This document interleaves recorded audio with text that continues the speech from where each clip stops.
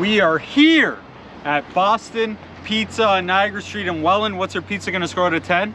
Let's find out. Large cheese pepperoni pizza, a new Welland world record, $31.06. Let's take a look.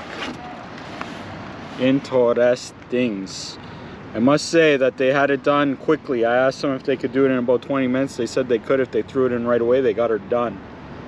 It's like yellow. It's got a little yellow along the outside. Those are big peps. They weren't shy. Looks like it's saucy. We're gonna go for this slice. That's greasy. It's greasy in there. Oh, it's got a nice, looks like those like tacos you see on TikTok where they dip them in grease under there. Reminds me of Costco.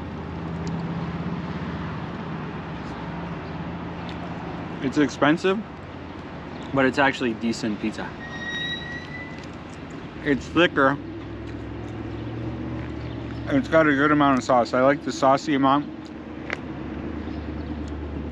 If I had to guess, they're not spending big bucks on the sauce or cheese, but the sauce is still decent.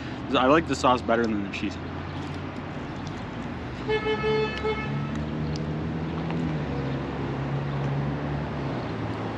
The crust. Uh, the sauce is actually, now I'm having a little more. It's getting sweeter and sweeter. A little too sweet. No clue what that is, but what's up?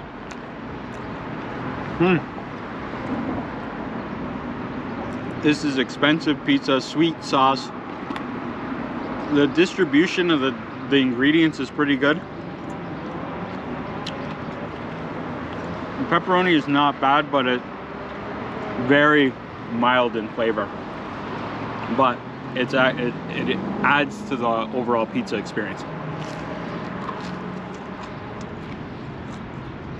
These bites are starting to taste like Pizza Hut with all that grease underneath. I don't think this is a pan. Yeah, I might make this in pan. That's a good question. I don't know Boston Pizza is pan pizza or not. Score 7.3. I imagine that this place sells way more dine-in pizza than takeout because for takeout you can order at some places and well in Welland three pizzas for almost for the same price. Slightly better. That's a review.